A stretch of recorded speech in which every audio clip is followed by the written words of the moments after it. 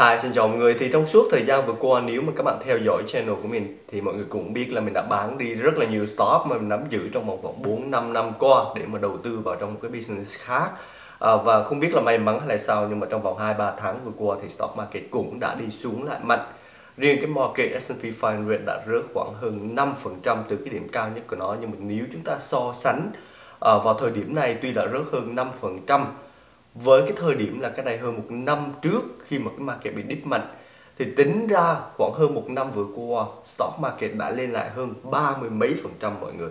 Và phần lớn là những cái stock cũng lên thêm rất là nhiều mọi người đa số các bạn mua stock nào cũng lời trong vòng khoảng hơn một năm vừa qua. Tuy là hai, ba tháng rồi rất mạnh, nhưng mà tính cách đây hơn một năm trước thì phần lớn là chúng ta vẫn còn lời nha mọi người à, và mình cũng tận dụng cái cơ hội đó để mà mua lại những cái stock mà mình bán ra trong thời gian trước à, cách đây khoảng 3 tháng trước. Và trong video này mình muốn chia sẻ mọi người những cái stock mình đã mua trong vòng khoảng hơn một tuần vừa qua. Và tất nhiên là cái market vẫn chưa ổn định nha mọi người. Mới có xuống được khoảng 5 6 phần trăm những cái stock về tech những cái stock về chip rớt khoảng mười mấy hai chục phần trăm. Đây vẫn là một cái mức rất là thấp so với là những gì mà nó đã lên trong vòng khoảng hơn một năm rưỡi vừa rồi nha mọi người cho nên là đa số stock vào thời điểm này tuy đã xuống nhưng mà vẫn còn ở mức rất là cao. Mình chỉ có thể chọn lọc được một vài cái stock mà mình thực sự yêu thích và mình mua vào cái thời điểm này, tại vì giá của nó rất mạnh hơn nhiều so với là những cái stock còn lại. Mình nghĩ là một cái thời điểm tốt để bắt đầu một cái position, một cái phần nhỏ thôi và sau này mình có thể ép thêm. Nếu thực sự cái market tiếp tục đi xuống, tiếp tục rớt vào một cái correction thì khi đó chúng ta có thể tận dụng cơ hội và mua với mức giá tốt hơn. Nhưng mà mình cảm thấy hài lòng với cái mức giá mình mua trong tuần vừa rồi. Thì sau đây mình muốn cho mọi người xem tất cả những cái stock mà mình đang nắm giữ à, những cái stock mình đã mua trong tuần vừa rồi. Stock đầu tiên không gì khác đó chính là Tesla nha mọi người. Thì bây giờ giá của nó đã xuống là 146 đồng một trong những cái stock rất là hot. Và với mức giá này khả năng nó có thể tiếp tục rớt thêm. Nhưng mà như mình đã nói rất nhiều rất nhiều lần rồi chúng ta có thể nhìn vào cái technical nhìn vào cái chart của nó, khả năng nó xuống thêm, nhưng mà không ai có thể chắc chắn là nó sẽ xuống thêm. Tại vì nếu mà các bạn nhớ không lầm, cách đây khoảng hơn một năm trước khi mà stock của Tesla rớt từ cái mức giá là 200 đồng xuống cái mức giá khoảng 100 mười mấy đồng, thì khi đó tất cả mọi người ai cũng nghĩ là nó sẽ xuống 6 70 đồng. Và theo cái technical thì khả năng nó xuống 70 đồng rất là cao. Nhưng mà nó chỉ xuống khoảng 107 108 và nó đi lên trở lại. Rất là nhiều người đã miss out cái cơ hội vào thời điểm đó đặc biệt là mua cái mức giá đó và nó chạy lên thẳng đến là giá gần 300 đồng một xe. Thì vào thời điểm này giá của nó 146 đồng. Tuần vừa rồi mình mua được khoảng 5 7 xe gì đó. 5 xe với cái mức giá là 154 đồng. Và mình sẽ tiếp tục mua thêm Tesla trong thời gian tới đây với cái mức giá là khoảng 115 đồng nếu mà nó có thể xuống cái giá đó nha mọi người. Còn nếu không thì mình sẽ vẫn tiếp tục giữ. Và đây là một cái stock high risk có nghĩa là cái phần thưởng của mình sẽ cao hơn. Thì mình có thể bị mất đi nhiều tiền nếu mà công ty Tesla không có thành công. Nhưng nếu thực sự nó thành công thì chúng ta cũng sẽ kiếm được rất là nhiều tiền từ cái việc đầu tư vào nó. Và mở với cái mức giá là 140 mấy 150 đồng mình rất là comfortable để mà mua cái stock của Tesla này vào. Và nếu có thể mua được giá tốt hơn thì điều đó tên cả tuyệt vời rồi mọi người. Stock thứ hai đó chính là Apple. Thì các bạn biết là Microsoft, Facebook Nvidia, Amazon, những cái stock nổi tiếng, những công ty tập đoàn lớn lên rất là mạnh trong thời gian vừa qua và cũng xuống lại trong vòng 2 3 tháng vừa rồi nhưng với Apple là một trong những cái stock bị rớt mạnh nhất kể trong vòng một năm qua tuy là so với những cái stock khác nha mọi người.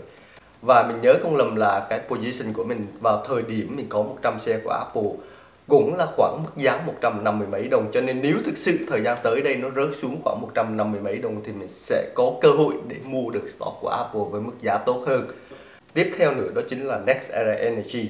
Thì mình cũng mua thêm cái stock này vào. Tuy là một, hai tháng vừa qua, stock của Next Era Energy đã lên lại nhiều, nhưng mà mình nghĩ đây vẫn là một cái mức giá rẻ cho với công ty này. Đó chính là lý do tại sao mình vẫn giữ Next Era Energy nha mọi người. Starbucks là một cái position mà mình giữ rất là lâu rồi. Thời gian trước mình cũng đã bán đi. Và với cái mức giá là 85 86 đồng, đó là cái cơ hội rất tốt cho mình để mình mua lại Starbucks. Mình cũng mua vào 10 xe với mức giá là 85 đồng. Và chắc chắn là mình sẽ mua thêm stock của Starbucks trong thời gian tới đây nếu mà nó vẫn nằm ở cái mức giá này hoặc là thấp hơn. Tiếp theo đó là Abbott. Mình vẫn tiếp tục giữ cái stock này nha mọi người. Tuy là thời gian trước nó cũng lên và mình đã bán đi bây giờ nó cũng đã rớt mạnh trong vòng khoảng hơn một tháng rồi cho nên là mình cố gắng mình mua lại một vài xe và cũng may mắn là trong vòng khoảng một hai năm trước mình mua những cái stock này với giá rẻ và bán được với cái mức giá cao hơn cách đây khoảng 3 4 tháng. Tiếp theo nữa đó là PepsiCo, nó cũng bị rớt mạnh nha mọi người. Và khi mà mình bán những cái stock của mình cách đây 2 3 tháng trước thì mình thanh lý hết tất cả những cái stock này. Nhưng mà may mắn thì nó cũng rớt xuống lại và mình cũng mua lại được 5 xe với cái mức giá rẻ 166 đồng. Bây giờ cũng lời được 4% những cái stock này là những cái stock an toàn. Cho nên là khi mình bỏ tiền vào trong cái này thì cũng không có lo lắng gì. Nếu mà nó rớt 5 7 phần trăm cũng là một trong những cái mức rớt rất là nhiều rồi với những cái stock như là PepsiCo như thế này. Johnson Johnson là một cái stock mình theo dõi rất lâu trong suốt thời gian qua. Với cái mức giá là 140 mấy đồng thì mình rất vui để mà mua cái stock này vào. Thì các bạn thấy là trong vòng 3 tháng vừa rồi nó cũng rớt hơn 8 phần trăm kể từ đầu năm cho đến bây giờ thì nó rớt được khoảng 6 7 phần trăm và mình đang có 5 xe với cả stock của Johnson Johnson này Pfizer là một công ty về pharmaceutical, những công ty sản xuất thuốc, đặc biệt là thời gian trước khi mà nó sản xuất ra cái vaccine Covid nhé mọi người. Thì thời điểm đó stock nó lên rất là nhiều, lên rất là nhiều, lên đến đỉnh luôn mọi người, năm mươi mấy đồng. Nhưng mà kể từ lúc đó cho đến bây giờ thì cái stock này nó khá xuống khoảng 50% rồi mọi người. Chỉ trong một năm qua nó đã rớt khoảng 35% và mình đã mua vào 20 xe của Pfizer với cái mức giá là 25 đồng, gần 26 đồng. Đây chỉ là một cái position nhỏ thôi mọi người. Và cái mục tiêu của mình là mình sẽ mua cái stock của Pfizer này nếu thực sự giá của nó rớt xuống cái mức giá dưới 20 đồng một xe và cuối cùng thì mình cũng đã quyết định mua cái stock của United Healthcare này vào. Và thời điểm này giá của nó đã lên lại là 501 đồng rồi mình mua cách đây khoảng hơn một tuần năm bảy ngày gì đó. Và bây giờ mình lời được khoảng 12% chỉ có mua hai xe thôi mọi người tại vì đây chỉ là mới cái sự khởi đầu thôi, mình không có muốn bỏ quá nhiều tiền vào trong một cái stock nào đó. Và đây cũng là một cái stock mà có giá cao 540 xe. Thì bây giờ mình mua hai xe với cái mức giá là 445 cũng lời được khoảng hơn 12% rồi. Thêm nữa đó chính là McDonald. Mình cũng đã mua lại cái stock này, tại vì trong vòng 3 tháng vừa qua nó đã rớt khoảng hơn 10% Comcast cũng là một cái stock bị rớt rất mạnh trong vòng 2-3 tháng vừa qua. Và mình cũng đã quyết định là mua vào 20 xe của Comcast với cái mức giá là 39 đồng. Thì vừa rồi là tất cả những cái stock mà mình đang nắm giữ vào thời điểm này. Phần lớn những cái stock này mình đầu tư với cái số lượng xe rất là ít. Tại vì vào thời điểm này mình nghĩ là cái market vẫn còn rất là nhiều biến động nha mọi người đặc biệt là thời gian tới đây, khi mà những cái earning, những cái báo cáo tài chính của những công ty lớn ra, những công ty mình đang nắm giữ này, ví dụ như là Tesla nha mọi người, nó sẽ ra báo cáo tài chính vào thứ ba này, thì chúng ta sẽ quan sát thêm là cái market nó sẽ di chuyển như thế nào, cái stock này nó sẽ sẽ lên xuống ra sao. Và mình hy vọng nha mọi người, mình hy vọng là stock của Tesla bị rớt thêm một lần nữa xuống cái mức giá là khoảng 110 mấy 120 mấy, để mình có thể tiếp tục mua thêm stock của Tesla vào và giữ cho long term thì với những cái stock mà mình đang nắm giữ này thì mình bỏ vào khoảng 10.000 đồng là cái số tiền đầu tư đầu tiên vào trong những cái stock này. Và mình vẫn còn một cái số tiền à, có thể nói là cũng khá khá để dành à, vào trong cái à, buy power hay là cái cash của Robinhood và nó vẫn tiếp tục trả ra cho mình là khoảng 5.25% mỗi năm. Thì nó vẫn kiếm ra thêm tiền. Ví dụ như là mình mua một cái stock nào đó có cái mức dividend yield là 5.25 đấy mọi người. À, thì cái số tiền đó tiếp tục kiếm ra thêm tiền và số tiền đó cũng là cái số tiền dự bị để những cái stock mà mình yêu thích bị rớt mạnh và mình dùng cái số tiền đó để mà mua những cái stock này vào.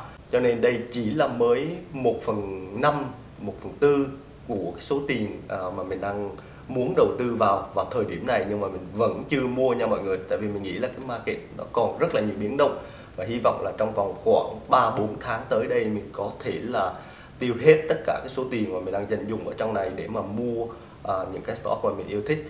Và mình sẽ cố gắng update tất cả những cái stock mà mình mua cho mọi người hàng tuần nha mọi người. Cho nên mọi người nhớ theo dõi những cái video mà mình đưa ra cũng như là cái Facebook page của mình. Mình cũng post rất là thường xuyên ở trên cái Facebook vào thời điểm này khi mà những cái công việc của mình đã ổn định hơn nhiều. À, những cái nhà cái business của mình cũng đã ổn định lại cho nên là mình cũng có nhiều thời gian để mà đầu tư vào trong những cái stock đầu tư vào trong những cái research những cái tìm hiểu của mình để mình chia sẻ với mọi người. Thank you mọi người đã theo dõi video của mình.